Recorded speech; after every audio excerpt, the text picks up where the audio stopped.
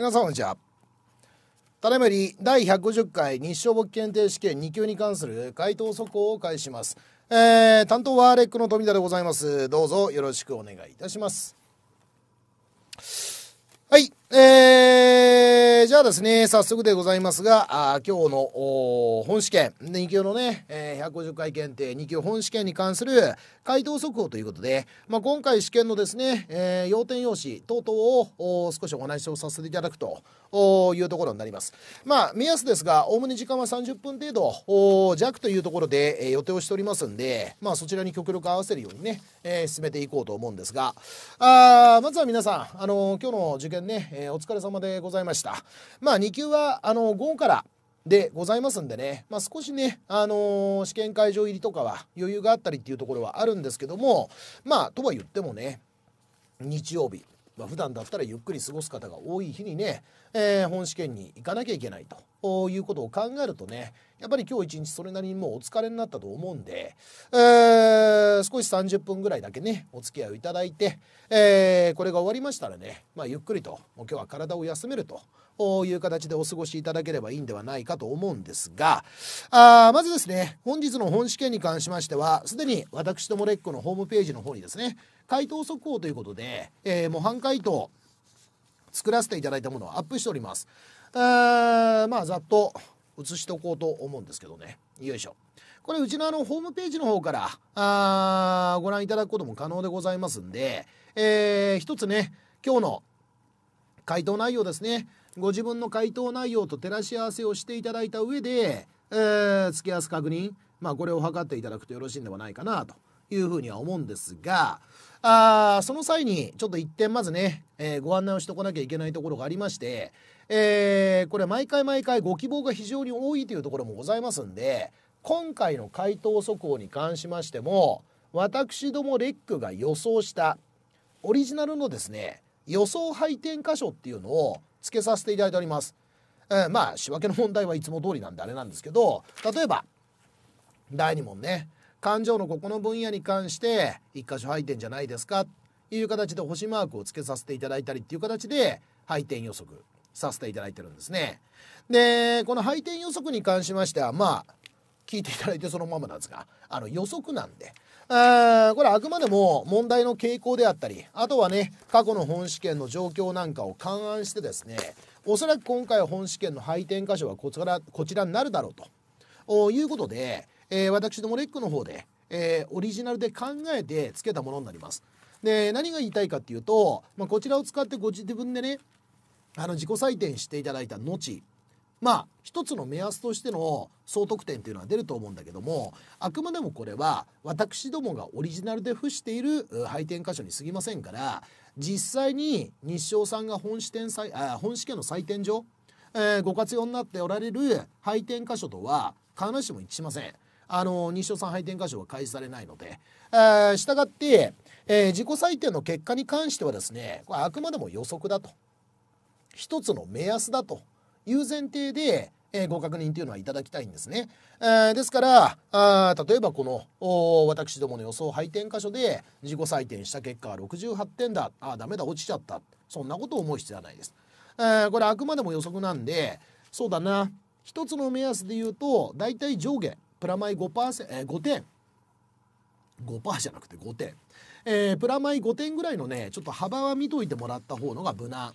まあ安心だっていうところを言えば7点ぐらいに広げてもらったのは無難だとは思うんですけどもまあそんなに大きくね変わっちゃうことは多分ないと思うんですよ。まあ、過去の傾向からして10点も15点も予想配点箇所と実際のね合否の結果がずれてるってことはないので、まあ、今回もそんなに大きくずれることは多分ないだろうなとは思うんですが一応ですね、えー、繰り返しになりますが予想であるがゆえプラマイ5点程度の幅というのはちょっと持ってえー、自己採点の結果というのは受け止めをしていただきたいというふうに思いますんでね、まあ、まず最初にその点だけはお願いをさせていただくと。いう形になります。でその上でね、まあ、今日の2級の本試験に関してねえー、まあ皆さん方試験会場行って実際に問題に挑んできていただいてですよ。まあいろいろご感想もおありだろうなというふうに思うんですがうーんまあ僕もいろいろ正直言って思うところはあります。ありますがまあでももう2級はこれでいくんだろうなっていうね、えー、感覚がまあまず僕はあったし、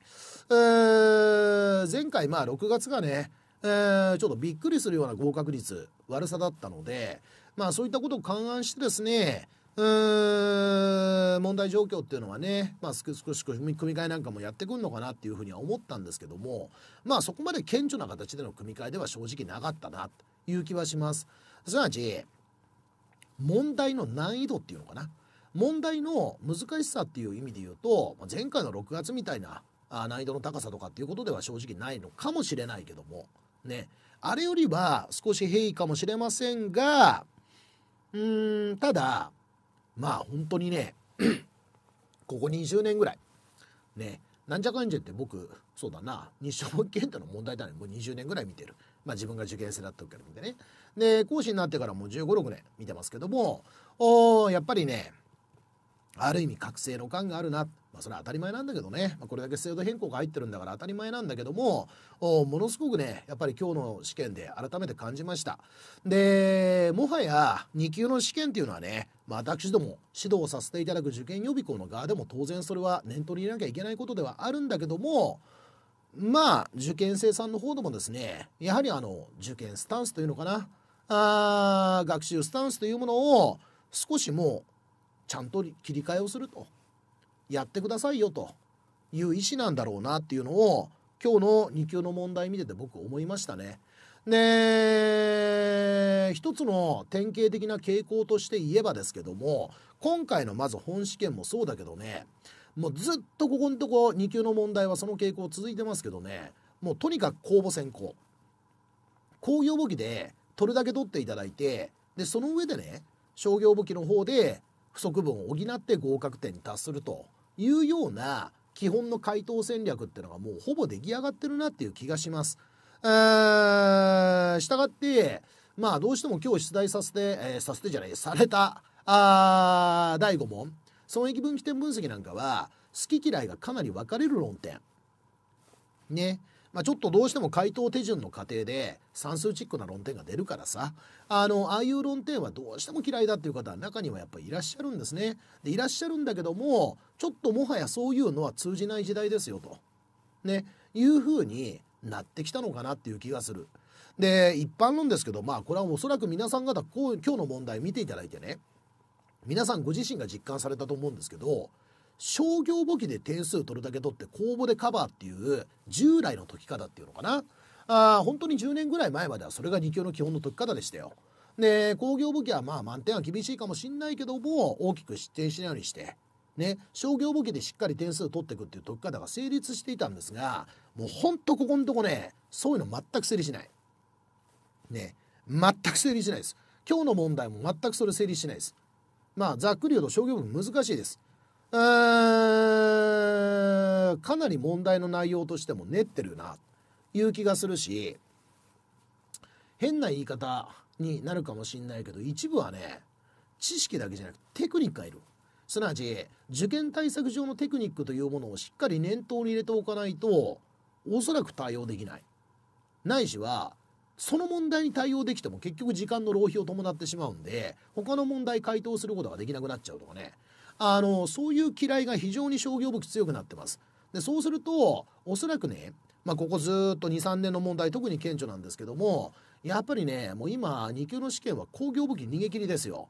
だから昔みたいに工業武器は嫌いだからちょっとそっちはね最低限のものを取って商業武器で点数を拾ってこうっていうような受験戦略ってのはもう合わなくなってるんだね。で一般論として申し上げれば今日の問題なんか顕著ですけどやっぱり工業武器で取るだけ取らなきゃいけない。だから今日の第5問工藤だけど損益分岐点分析なんていうのは好きな人嫌いな方結局大きく分かれるんです。もう好きな人はこれ大好き。解いてて面白くってしょうがない。ね。えー、面白くってしょうがないからもう工業武器の中でもダントツこれは好きだっていう方もいらっしゃる。ね。でこれねあのそんなに少なくないですよ。えー、それなりの数いらっしゃいます。でいらっしゃいますがかと思えば今言った通りそういう算数チックな論点があるからもう嫌いだと。いう方もいらっしゃるんだけどもうちょっと嫌い人たちは通らなくなっちゃってるんだね。だからもう今日の試験なんかももう工業武器をとにかく取り切る。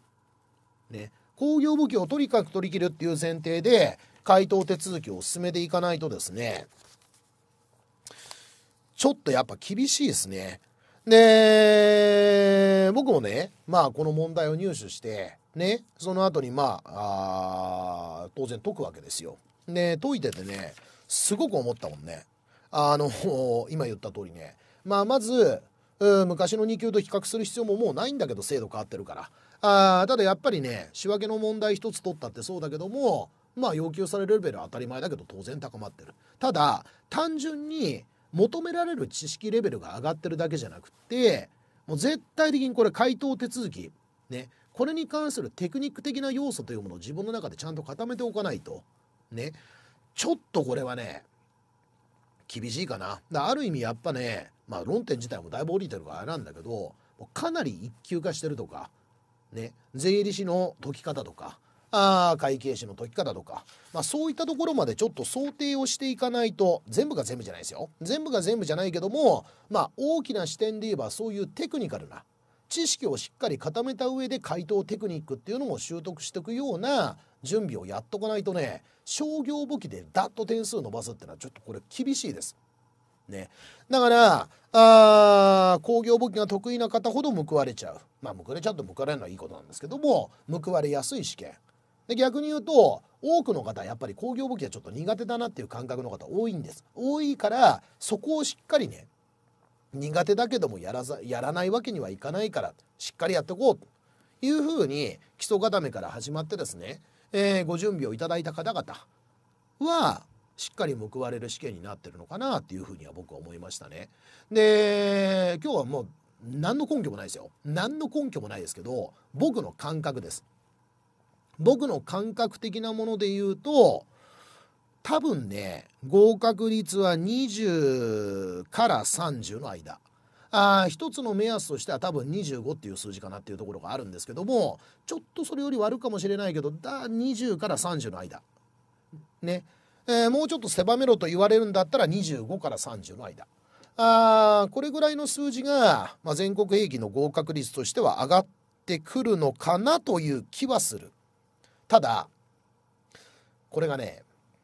ちょっとどれぐらいまでねあの、問題を精査して対応することができたかでもっと言うと、まあ、繰り返しになっちゃうけどその回答テクニック的な部分にしっかり重きを置くことができたかどうかあこれが結構影響するかなとは思います。で今日のね本試験の問題に関して言うとまずあの回答手順的なものから言えばこれやっぱ工業武器からやるべきでしょうね。で工業武器をもうちゃっちゃと終わらせる。で工業武器をちゃっちゃと終わらせてどうしても時間かかるのが商業簿記論点だったりするからそちらを後からやっていくっていう実現になるとは思います。でただねこれ意外とね深いんですよこの問題。だその工業簿記の問題の深さっていうのがある意味今日死刑の結果を左右してしまうかなっていう気が僕はしてて例えば第4問仕分けの問題。これ一見すると簡単ですね。一見すると簡単なんですけど各費目材料費に該当する諸項目労務費に関する諸項目これまあ工業武器の勉強始まって費目別計算の領域ですから一番最初の方に勉強していただいてる話なんですけど意外とね基本のところをちゃんと押さえておかないとこの手の問題って間違えます。というのもパッと見の話でまず目立つのは材料複費の予定配布ね。一番最初に材料を購入しましたと。ねで材料複費の予定配布をしますよと。いう位置づけの問題があるじゃない。ねで材料複費の予定配布をしましょうよと。いうような論点なんかが含まれているからじゃあそこについての回答はどうなんだいと。いうお話になるんだね。じゃあその材料複費の予定配布はっていうとまあこれ言われた指示をそのまんま従っていただければ問題ないかなと思うんですけどあ当月の素材800キロ。まあキロあたり2000円。で改良部品3000個。1個あたり100円。で工場消耗品10万円購入代価まあ指示があるでしょう。でそれぞれ物買ってますから素材に関しては800キロ ×2000 円で購入代価160万。でこれに買い入れ部品のね、えー、3000個 ×100 円ですから30万が上乗せ。で190万だね。で消耗品の10万円。はいこれも当然材料費ですからあ正確に言うと材料勘定で記帳しますんで、えー、10万円加算。で全部ひっくるめた220万全体に対して購入代価の10%副費としてお手配しなさいって話なんでまあこれ言われた通り読んでいただければあんまり問題ないんですけども材料副費の予定配布という作業自体はねえー、現実的には勉強の段階の最初の方でやっていただいてる話ではあるんですがまあ受験対策上そんなに頻度が高いものではないので、えー、準備が取れてなかったと。いう状況になってしまうと、まあ、もしかしたらちょっと括弧一番厳しかったのかなっていうところがある。だからベースのところの知識をねしっかり固めておくことができたかどうかっていうのはわりかし重要だっていうような気がしますよ。でさらに言うと2番もそうなんです。え2番の回答3番の回答まあともにそうなんだけど2番なんか顕著ですけどね括弧2番の問題見た時に当月によって素材150万買い入れ部品10万で工場消耗品8万円消費したっつうでしょでこれさ費目の勉強をやった時の基本スタンスであの素材っていうのはいわゆる使用材料ですからあこれに対しては主として製品を形成する物品なんですね。ということは一般的に素材の消費高っていうのはどの製品を作るためにいくらかかったかという特定ができる。すなわち製品との対応関係は明確なんでこれ製造直接になります。すなわち、えー、素材の消費高っていうのは特に知事がない限りはこれ直接材料費です。で同じように買い入れ部品っていうのも一般的には消費高についてはもうこれ直接材料費ですよ。だってよく言われますけど買い入れ部品の典型例としては自動車メーカーが使うタイヤです。自動車メーカー自動車作りますがタイヤ自体は作らないでしょ。タイヤってのはタイヤメーカーが作ったものを買ってきてとっつけんだけですからそうすると買い入れ部品に該当するタイヤの代金っていうのはどの車種作るためにいくらかかった特定できるでしょ。製品との対応関係明確なんですよ。だから項目名の特性に着目すれば素材と買い入れ部品が直接材料であることはもう当然の解釈。で逆に言うと消耗品なんてのは複数の製品製造のために共通してかかるでしょ？で当然これは間接材料費でしょ。ここら辺のもういろはのいらんですよ。でいろはのいだから僕は個人的に言えばこれは取ってほしかった。でも逆に言うと素材とか買入部品に関する知識というものをしっかり固めることができてなかったとか普段そこら辺の勉強はあんまりやらなかったとかいうことになっちゃうと多分これ判断つかないですね。で括弧2番ができるできないっていうのはわりかしその費目に関する基礎知識がちゃんと固まってましたかどうですかっていう確認にはなってるような気がする。だ僕は個人的にこういうのが怖いんですよ。基本的な論点として第4問ってのは一般的には多分解きやすいんです。解きやすいんだけどただ今言った通り括弧1番のあんまり試験の出題頻度は決して高いとは言えない副費の予定配布があったりさらに言えばこういったね費目の特定っていうのかな。素材の消費高は特に指示がなければ当然直接材料費ですよとか買い入れ部品の消費高は通常直接材料費ですよとかこういったですね基本的な位置づけのところが分かってますかいうのが分かってる方にとってはなんてことないんですけど分からないと非常にこれ混乱する。で多分回答を出すのもまあある意味一か八かみたいなところになっちゃうんでそれがうまいこと転んでくれてればいいけどそうじゃないとちょっと過去2番怖いんですね。だから僕個人的にはねさっき言った通り全国合格率多分25から30ってのは一つの目安かなとは僕個人的には思ってます。思ってますけどもそれが下方修正されるような状況が生まれるとすればまず1つ目の要因はここら辺じゃないですかね。えー、第4問の括弧1括弧2あたりの部分で誤答が出てると。いう状況になってしまうともうこれだけでだって言ったって仕分けですからこれはもう配点変わらないと思うんですけど発点落としますんでちょっとでかいですね。それが怖い。で逆に言うと括弧3番から後っていうのはそんなに悩まないと思うんですよ。ねそんなに悩まないと思うんです。えー、まあおそらく括弧3番の直接高間接高賃金消費高まあ直接高賃金は予定消費。で間接高賃金は実際ですから、まあ、そこはそんなに問題ないでしょ。で当然直接高賃金消費高のうち間接作業従事分は間接労務費ですからこれは多分問題なくできると思うんで括弧3番括弧4番でもって括弧5番までは多分いけるんです。間違えるとすれば1番2番だと思います。そこがちょっと怖いなという気がするんで、まあ、逆に言えばね基本の部分をしっかりと踏襲するというか学習しきっていただいた方は1番2番もできてるはずですからまあここはちょっと一番最初の費目の学習をですねきっちり進めていただけてたかどうかっていうところにちょっと差が出ちゃうような気がしましたね。ただ逆に言うと今までの本試験はまあ昔の本試験はって言ったのいいかな。こういったところはあんまり細かいこと問わないっていうのは2級の前提だったりもしている。別にそんなこと言ってないけども。ね。えー、そういう傾向が強いんで、まあ、そうなってしまうとねちょっとここら辺でかなり混乱しちゃったっていう方もいらっしゃるかもしれませんからその4番目のカッコ1カッコ2っていうのは一つの差の生む要因になったのかもしれません。で第5問に関して言うと損益分岐点分析ですがこれねあのまず例のごとくってもう言っちゃいますけどね直接原価計算方式の PL が載ってるわけじゃないんで与えられてるデータでまあ端的に言うと自分で PL 組む感じですよ。売上高は問題分解数350万。ただ次に変動費。まあ、厳格に直接原価計算方式の PL 作れば変動製造原価を書いて変動製造マージン出して変動販売費をさっぴーで貢献利益を出すけど変動製造マージンなんかこの問題求めてないわけだからもう端折っちゃっていいですよ。売上高書いたら問題資料に載ってる変動費の合計額。だ売上高変動費。で三悪の元まの貢献利益ですから。で貢献利益書いたら最後に固定費。資料に載ってるトータル書いて。でその差額が当期における。ね。営業利益でしょ。でまず一旦それで PL 組む。で一旦 PL 組んでいただければ問いの一番の変動比率。売上高に占める変動費の割合。ねこれ要因出るじゃないですか。で損益分岐点売上高は？話になりますんで変動比率が出ちゃうってことは当然1マイナス変動比率イコール貢献利益率ですから。で損益分岐点売上高はいこれどうやって出すのっつったら固定費の合計が貢献利益と一致する状況が生まれればそれ損益分岐点ですから。ねしたがって固定費合計額を貢献利益率で割り戻せば損益分岐点売上高にはなるんで。ね、だそういう PL を作るという作業が1点入ってちゃんとそこができちゃえば問いの1番から問いの4番までは問題なくできたと思います。ね、ただまああえて言うと問いの5番がねちょっとあのいわゆる工程定法による、えー、古変分解原価分解をやんなきゃいけないんでまあこれはどうなのかなっていう気がするんですけど僕は個人的にはやりやってほしいなね、やってほしいなっていう気はする。ただ肯定点法に関してはまあ補足というかプラスアルファの論点と捉えてちょっと後に回しといたという方もいらっしゃるかもしれないんでそうすると問いの5番はまあ落としてしまうようなことがあってもいいのかもしれないけども逆に言えばねその直接原価計算様式の PL を一旦組むとあの載ってるデータに基づいてまあ書くだけですけどその作業がちゃんとできるんであれば問いの1番から問いの4番は基本的にできるはずなんですよ。ね、だからそういう PL を組むっていう作業をちゃんとやれるようにしといていただいた方にとってみればおそらく第5問は手が出しやすい。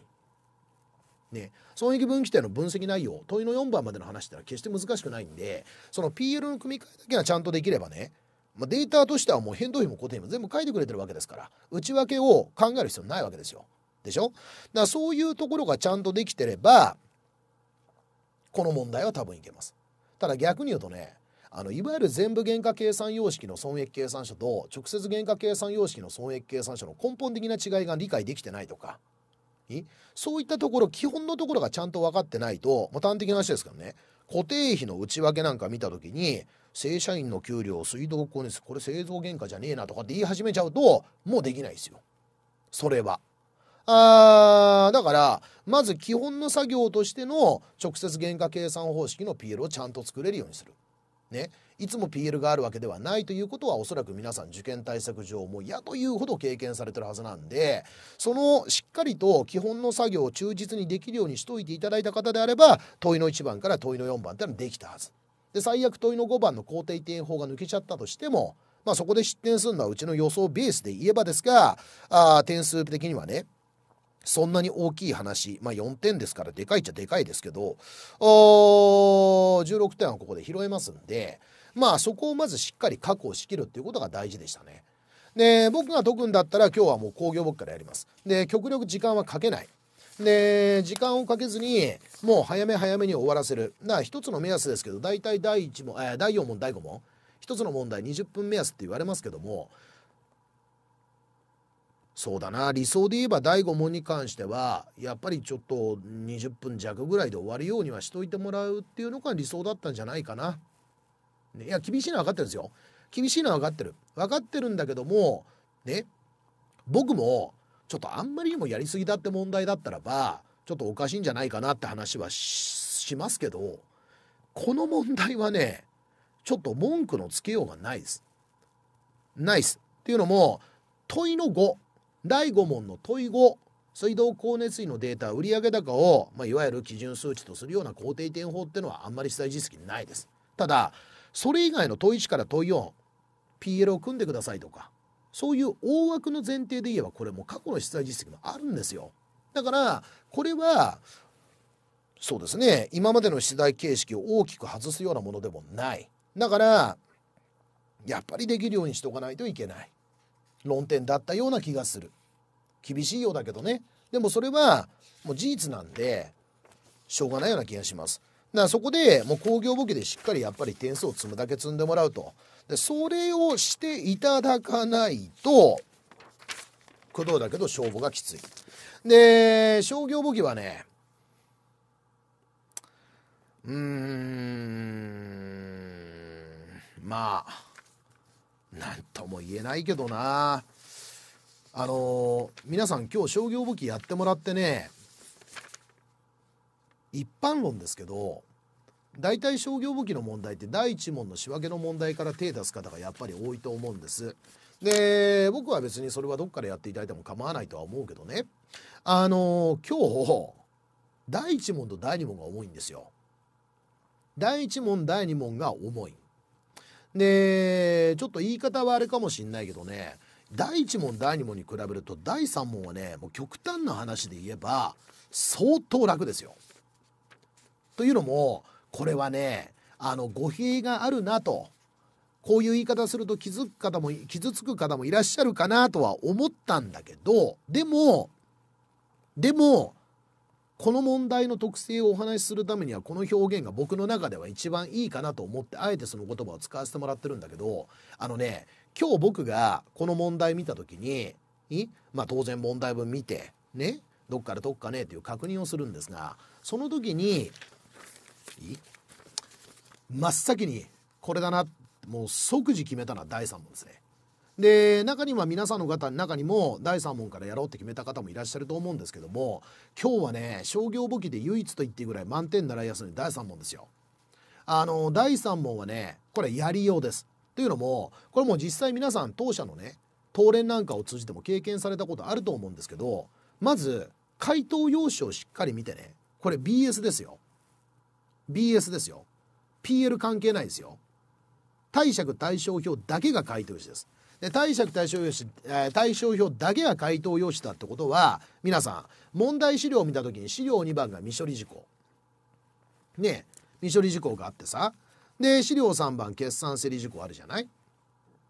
でまず大枠の問題の解き方だけど未処理事項については一旦全部仕分け切ったらいいと思います。ね。えー、一番最初前期に貸し倒れ処理した売掛金の一部6000が当期に回収されて当座預金口座に振り込まれました。未記帳です。じゃあこれ仕分けどうするんですか？話ですね。じゃあこの仕分けはどうですか？って言ったらこれ前期に貸し倒れ処理してますから償却債権取り立て金になるんで借方当座預金で貸方償却債権取り立て金になるんだけど償却債権取り立て益ってのはもう皆さんご承知の通りこれは特別利益 PL 上の特別利益ですから今回買い取りしかけないでしょ？わかります？これなんですよ。え？今回は回答用紙に BS しかないじゃない。でしょ ?PL の科目って書けないじゃない。書けないものはやんなくていいですよ。だからこの資料未処理事項なんか一旦全部仕分けしても全然構いませんけどもあ当座預金が6,000増えんのね端的なそれだけ読み取ってですか？決算整理前さんの当座預金借方残高いくら載ったでしょ？あそこの左側かなんかに6,000円って書いとけんですよ。そんだけ。でそしたら2番あ手形5万円を取り金庫で割引割引料200円をさっぴいた手取りは当座預金としました。で未処理です。借方当座預金4万9800円。借方売却損。え200円。貸方受け取り手形あ5万。でしょ？ただこれも手形売却損、まあ、一旦仕分けしてもいいですよ。いいですけども、手形売却損ってのは PL の科目ですから、買い取り関係ないですよ。で、当座預金と受け取り手形が増えて減って、だからそれだったらもう決算すればしたのところに金額書くだけでもいいじゃないですか。あのねそこなんですこれ。わかります？で特に顕著に出てくるのは決算整理事項なんだけど例えば決算整理事項の1受取手形と売掛金の期末残高2%の貸し倒れを見積もりましょう。で坂口法で貸引設定やってくれってありますけどあのねこの決算整理事項入った時にやっちゃダメだとは言わないよ。やっちゃダメだとは言わないけども貸し倒れ引き当て金の？設定の仕分けってやる意味あります？ないよね。借方繰り入れって書いてあってだって繰り入れってピールの科目ですから回答時の貸借対象書けないじゃないですか。じゃあどうすんのっつった時にこれ問題文見てね。もう簡単なし未処理事項なんかの修正が終わった段階で決算整理後の受け取り手形が17万になります。売掛金が41万。決算整理前資産のまんまですけど。なります。これわかるじゃん。書くんですよ。で書いていただければもう端的な話。それぞれの2%はい2%貸引設定するんでしょ？でこれで終わりです。えだいちいちいくらを足して繰り入れがいくらで仕分けを書いてとかってやんなくたっていいんですよ。結局期末の受け取り出方と売掛金が確認できちゃえばそれの2%相当分引き当て金積めばいいんでしょ？だ17万と41万書いたらそれぞれ2%かけた数字を貸し引きですって書いたら終わりです。仕分けいらないですこれ。でもっと顕著なのはこれですよ。これこれ。えー、資料3番のあ2番の期末消費のデータ。これ皆さん普通これ使って何やんのっつったらシークリクリシー売上原価の計算まずやって原文費さっぴいてで商品評価損さっぴいて貸借対象に乗っかる商品出すんだけど結局貸借対象に乗っかる商品って実地の数量をかける賞味売却価格でしょ。これかけていただいたら貸借対象表のですか商品出て終わりですよ。そうですね。シークリクリシーやって何が出んの？売上原価ですから。売上原価っていうのは基本的にあれ PL 価格話ですからね。いらないです。で原毛費商品評価損を答えたって PL の科目だからいらないでしょ？結局 BS の区間の最終値なんだっけってそれで考えれば仕分けいらないんです。でこういう作業ができるかできないかって結構大事だと思うんです。だって回答用紙が BS だけになってるってそういうことですから。だからおそらく別にこういうところは先生の公表を見なきゃ分かんないけどあのこの問題をねお作りになった先生のコンセプトとしてはまず処理論。未処理事項修正とか決算整理事項修正とか当然そういう仕分けがねちゃんと考えられるというまず知識は持っててほしいんだけどもただ回答用紙を貸借対象に絞りましたよ。それは決算整理をやった結果勘定がどういう状況になりますか？普段勉強してる処理の結果どういうデータが貸借対象に載るんですか？その一連の対対極的な視点っていうのかな？ちょっと一歩引いた視点で決算整理の目的などを正確に理解していれば簡単に回答できるものいっぱいありますよってそういうコンセプトを僕すごく感じるんですよ。そうすることによって第3問は時間がかからないようにしてある。それはなぜかと言ったら第1問第2問でかかるからです。第1問第2問で時間がかかるから第3問を緩くしてあるんです。だその緩くしてあるなということにまず気づくかどうかだと思うんです。ね。で別に僕は工藤だけど仕分けを書いて集計していつもの通り回答することを否定してるわけではない。否定してるわけではないのでそれでやっていただいて大いに結構なんだけどもただピンポイント的にね結局 BS に書くべきデータこれは何なんですか？それが分かってればイージーに問題解けるところって多いんですよこの問題。時間がかかんないんです。そういう視点が持てたかどうかじゃないですか？いう気がする。ね。そういう作業をしっかりとやれるかやれないかでやはり皆さん方これは差はねかなり生まれたんじゃないかなというふうに思いますよ。おそういう視点はいるだろうね。でそうするとまあ工藤だけど仕分けは書いてもらってもいいけどね損益計算書自体は作る必要ありませんから作んなくていいです。でそうすると結果的に繰越利益賞金出ないんですよ。だって繰越利益賞金って決算整理前さの繰越利益賞金に PL で求まる当期純利益を足さなきゃいけないんで。で PL がないんだから当期純利益分かんないからこれ埋まんないでしょ？でどうすんのっつったら資産の合計すなわち BS の借方合計は全部埋まるから出るんです。BS の借方合計出ればイコール貸方合計ですから。でそうすると繰越利益剰余金以外の全項目はもう埋まりますんで貸借の差額で繰越利益剰余金出す。これが今回の解き方。ただまあ、繰越利益条件を出すってことは結局他の項目は全部合ってなきゃいけないんでこれがあったら満点でございますがなかなかそうはいかないところもあるだろうから繰越利益条件なんかあったら儲けもんでいいです。それ以外の項目で部分点をしっかり積んでっていただいてまあいわゆる7割狙いプラスアルファぐらいの得点状況っていうのを作ってもらうっていうのがまず今日の第3問に関しては必要だったんじゃないかないう気がするね。で、それをしっかりこなしていただいた上で、第1問と第2問は、あともう部分点狙いですよ。で、ただね、例えば第1問の仕分けの問題に関して言うと、一般的に言われる3本刺繍。ね。まあ、大体昔からそうですけど、1個や2個は難しいのがある。で、今回で言えば、4番と5番は難しい。まず4番は、ただ単にめんどくさい。とにかくめんどくさい。あですから4番についてはまあとにかく回答が煩雑なんでやってる途中でわけわかんなくなっちゃうと思うんでまあこれはね合ってなくてもしょうがないと思います。なかなかこれ出せないですよ。ね。で4番については対応しきれないと思うんで仕方がないと思うんですが5番。5番の問題は純粋に会計的に難しい、えー、これはですね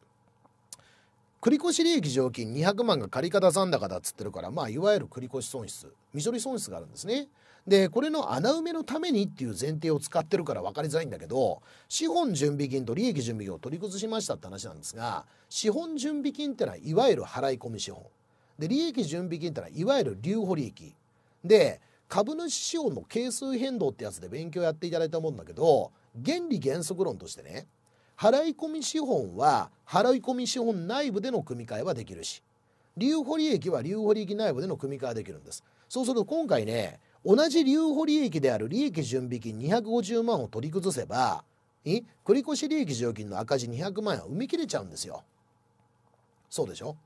ってことはその他資本常用あごめんなさい資本準備金を使って穴埋めする必要がないんで資本準備金に関しては同じ払い込み資本であるその他資本剰余金に移さないとまずいでしょっていうことを当然解釈してくださいっていう問題ですからこれは会計理論上難しいです。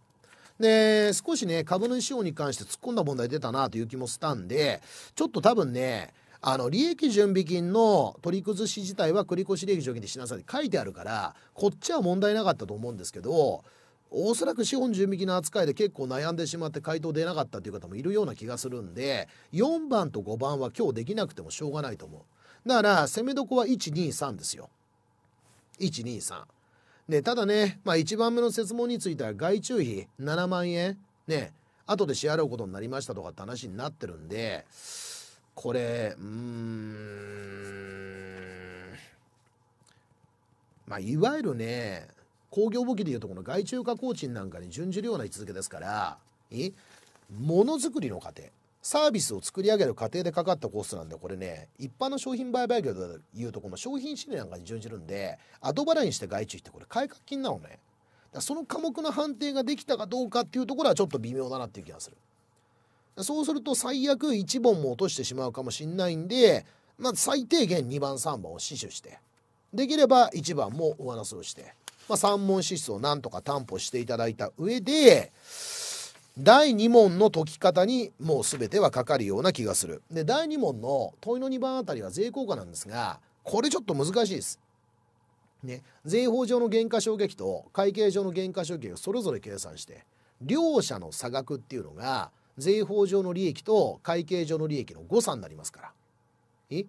でその利益の誤差の部分だけ税金が多い少ねえって話が出てくるんで利益の誤差すなわち減価償撃の誤差かけることの税率30%税額ベースでいくら調整しますかという計算過程を追ってくださいっていう問題ですから問いの2番に関してはかなり難しいと思います。だから僕個人的にこれはできなくてもいいと思う。できなくてもいいと思うんでじゃあ第2問はどこが勝負のかけどこですかって間違いなく問い1です。これ皆さんに今回3つの勘定建物勘定とえー、なんだっけえー、機械勘定とリース資産勘定か。3つ作ってもらってるでしょ？ね。で3つ作っていただいてると思うんだけどこの3つの勘定をどう作るかって話なんですよ。でねまず今日の問題って冒頭資料を見てもらってもまあ資料が多い。ごちゃごちゃごちゃごちゃいろんなことが時系列になってるから組み合わせになっちゃってる。で組み合わせになっちゃってるんでこれねまず問いの1番で言ってる建物勘定を作りましょう。機械装置勘定を作りましょう。リース産勘定を作りましょう。それぞれの勘定を作るにあたってどうやって資料を読むかっていうと時系列に追っていくというよりは資料自体を建物関連の資料。機械装置の資料。でリース関連の資料。分けて何回かに分けて作業過程っていうのを追ってった方が良かったような気がします。だって建物は建物はまとまってるわけじゃないから。でしょ？機械は機械でまとまってるわけじゃないから。そうすると多分ですね与えられてる資料の通り問題解いておこうと思うと結構混乱するんですよ。ごちゃごちゃになってきちゃう人が多い。だからそうなる前に、まあ、あらかじめ建物勘定を作る時にリースの話は関係ないじゃない。機械の話も関係ないじゃないだ関係あるデータだけを抽出してそれで一つ建物勘定を作っちゃってで次に機械装置を作っちゃって次にリースを作っちゃってその前提で作業過程を追っていくだけでもだいぶ違ったと思うよ。でやっぱりこういうのってあのまずね一つ一つの処理論に関する知識ってのは当然必要なんだけどもただ単純に知識が求められるだけじゃなくて回答アプローチを組み立てる能力ですね。それが求められちゃってるから逆に言うとそれを2級の段階でやらせられるとちょっとやっぱきついですよ。そういう作業に慣れてないと普段そんな作業しないでしょあんまり。だからうーんちょっとそういう意味ではこれ酷だなっていう気がするの。だからもうある意味見方を変えてしまって問題一通り一回上から全部やろうと思ったけどごっちゃになっちゃうでごっちゃになっちゃうんだなった時に難しいなっていう論点とそうじゃない論点は明確に分かれるじゃない。例えば今言った建物勘定の話建物勘定は別に突飛の話何にもないです。でしょ？何にもないですよ。だから建物勘定だけじっくりこなしましょうとか。ね？えー、税効果の仕分けを答えなさいって言われるとなんだけど機械の変動ぐらいはできるじゃないですか。だから機械装置はしっかり取りましょうとか。そういうふうに部分的に点数拾えるところに視点を切り替えて税効果の問いの2番は厳しいけどもじゃあ機械本体だけはやっとこうぜとかそういう形で見方を切り替えられるとよかったような気はするけどもそれを現場でやりなさい。なおかつ指示もなく自分の判断でやりなさいって話になるとちょっとどうかな。それがうまいこと回った人もいれば全くそういう視点が持てずに混乱だけしてしまったという方も相当いるんじゃないかなっていう気はするんで結構厳しいかな。いう気はします。だから今言った第2問もそうだしささっき話した第3問もそうなんだけどこれはね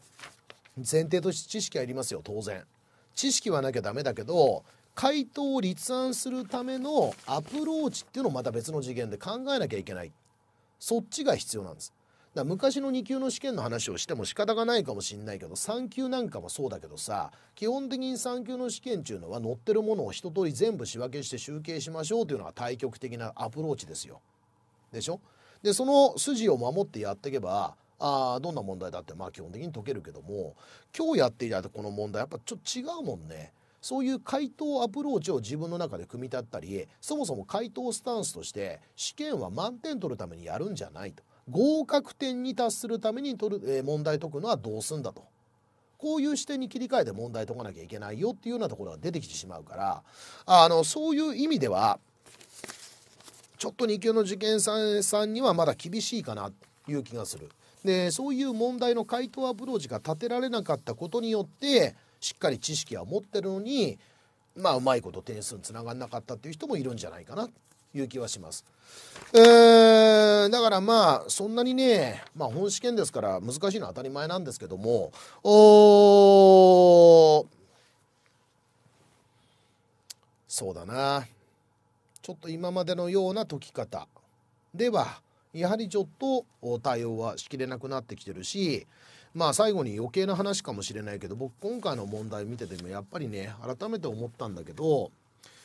もうちょっと昔の、まあ、僕らの時代と比較してもしょうがないですけどねあのー、本当に昔のね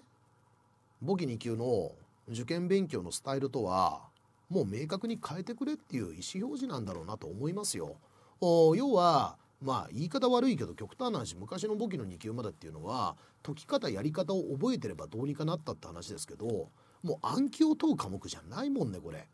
でまあもともと会計っていうのは本来暗記を問う科目ではないんです。え、考えていただいて知を使って問題解くっていう科目なんで、まあ、僕が日常担当させていただいてる税理試験なんか、まあ、昔からこんなんなんですよ。まあ、もっとえぐいですけどあのひねりひねりなんですね。で昔は2級がそういうのは少なかったんです。それはやっぱりね入り口ねまだ勉強を始めて3級を終えられてワンステップ上がった方々だから基本の作業をしっかり踏襲していればあそれで合格点数上げますよという試験だったものがだんだんだんだんやっぱり問題のね質自体がもう変化してきててまあ言い方悪いですけどちょっとあの形で覚えるような方々にはあ合格は差し上げませんという意思表示のように僕はものすごく思った。ね、そういう勉強の仕方は変えてねっていうアピールなんだろうな思いましただから皆さん方にしてみれば受験生さんにしてみればこなさなきゃいけない努力っていうのが増えます間違いなくあの暗記するのも楽じゃないんだけどただねやっぱりその決まりきったものを何遍もやって覚えるっていうことが効果を持つのが暗記メインの試験ですからあそれがちょっと使えなくなってきてるっていうのはやっぱり1級試験ちょっと厳しいなというところは正直思いました。ね、あ失礼2級の試験ね厳しいなというふうに思いました。まあ、でも今日の試験でしっかり結果を出すことができた方はこれ自信持っていいですよ。本当に自信持っていいと思う。お世辞でも何ともなくてあのこのね試験で合格点に達する方々の能力ってあの本当にね僕らの時代の2級合格者の能力と比較にならないです全然ならないです多分いいこれはもうどうにも裏の取りようがないけど僕が2級の勉強だったのも2020何年前ですがその当時のね2級の合格者がそのまんまの能力でですか？今の試験受けたって、まあ、制度変わっちゃってるから何とも言えないけども同じようなスタンスでその時の合格者がねワープかなんかしてきてですよ。で試験受けてもね絶対受かんないですこれ。絶対無理です。なぜなら僕らの時は暗記の勉強だったから2級は。でも違うもんこれ。もう知恵使わなきゃねうまいこといかないですもんこの問題。だから求められるものが大きく変わってるんですよだからそれぐらいえ同じ2級の合格ではあるけども合格された方々は自信持っていい問題それだけ深く理解が進んでる問題だと思います。ね、ただ残念ながらこういう問題になってくるとせっかく勉強してきた努力がねうまいこと実を結ぶことができなかったっていう方もいらっしゃるかもしれない。で今言った通り回答テクニックの部分も出てきてしまうから知識は固めたのにそういう解き方論で止まってしまった方もいらっしゃるかもしれない。ね、悔しい思いをされた方もいらっしゃると思います。でいらっしゃるとは思うんだけども僕は別にこういう仕事をしてるからどうこうっていうんじゃなくてやっぱりね勉強を始めていただいたからにはしっかり形に残すまで続けてほしいなというふうにはしょっち率直に思います。で工藤だけどももともと問題が難しいんです。だからあそんなにね結果がポンポンポンポン出ないっていうのはもうある意味当たり前になってしまった。でそういう試験なんだからね逆にはここでやめてしまったらここまで培っていただいた知識は全く無駄になるとは言わないけども形に残すことができないんでそれはもったいないじゃないですか。だから次につながるようにねやっぱ準備はしてほしいしで今回の2級で成果を出すことができた方は次のステップはやっぱり考えた方がいいですよ。これだけ能力あるんですからね2級こんだけ難しいですからそれでしっかり成果を出すことができた方々はやっぱり上なんかを考えてもいいと思いますよ。で最後に一応告知告知なんですけどあのもうすぐねあの12月1日以降ねうちレックであの小学生試験を各地の本校校舎で実施します。でこれ小学生試験ですから、まあ、簿記の問題をそれぞれ解いていただくんですけど得点状況によってねえー、講座申し込みの際に使える割引チケットを差し上げます。あの満点取ってもらったら100%オフになるものがあります。で詳細はホームページなんかで、えー、告知させていただいてますんで是非そちらをご確認いただければと思うんですが特段予約等いただかなくても小学生試験が実施される各地本校にえー、開始時間前においでいただければ直接おいでいただければもう受験していただくことは可能なので、まあ、そういった機会をね是非前向きにご活用いただきながらあ次のステップであったりいうところをね一つお考えいただいてもいいかと思います。はいちょっと長くなってしまって申し訳ないんですけども以上をもちましてね本日の2級の回答速報は終了というところになりますがまあ工藤だけど2級の方は朝ではなかったりしてもねやっぱりここに至るまで最近の試験の傾向を考えるとね一生懸命仕事終わったり学校終わった後に自宅帰って寝る時間を削ってさあ勉強していただいたと思うのよ。で今まではねどうしても試験という目標があったから気が張ってるんでねえー、ずっとそのペースでも続けてこられたと思うんだけどこれはねどんな受験生さんだって多かれ少なかれ絶対今疲れ溜まってますからねあの、試験が終わった後やっぱり気もある意味緩むんでそうなってくるとやっぱこれだけ急に寒くなったりしてるでしょ？あの体調崩しますから本当多いんですよ試験間際。特に11月試験の後っていうのは。ね、だからもう今日あたりもそうだけどさちょっと23日はねしっかりあの体を休める。ね、でしっかり体を休めて、ね、心身ともにリフレッシュしてで、まあ、自己採点の状況なんかを勘案して次はどうするかと。いうことを少しお考えいただく。ね。えー、こういうふうにしていただくといいんじゃないかないうふうに僕は思いますよ。まあ、とにかく本当にもう11月の試験は毎年そうなんだけど試験終わりの後にぐっと体調崩す方多いんでね。でなんか今年はインフルエンザも早いらしいからね。ちょっとあのそういう大きい病気もらっちゃったりすると年末ね大変ですからまあもともと仕事も学校も忙しい時期でしょうから。ね。あのー、そういったことにならないようにね、まあ、とにかくまずはもうここまで頑張ったんだから。できたとかできないとかっていろいろあると思うけど別にそんなん気にすることはない。頑張ったんだからいいんです。23日はゆっくりしてください。まずは疲れをしっかりとる。ね。でそういった悪い病気をもらったりしないようにする。ね。体力をしっかり回復する。ね。それでいいじゃないですか。ね。まあいろいろ思われるところはあるでしょう。悔しい思いをされた方もあるでしょう。こうすればよかった思われる方もあるでしょう。それは次につなげればいい。次につなげる時に考えればいい話であってまあ気持ちはなかなか晴れないかもしれないけども僕はあえて言う。今回の試験は難しいです。難しいです。だからこそできなくってもそんなに気遅れする必要もないし気落ちすることもない。頑張ったんだからそれでいい。ですか？胸を張って。でよくここまで自分でそれなりに頑張ったという前提で23日はゆっくりしてください。ね。えー、そしたらその後に次のステップのことを考えましょう。ね。はい以上をもちまして、えー、本日の回答速報終了になります。皆さんお疲れ様でございました。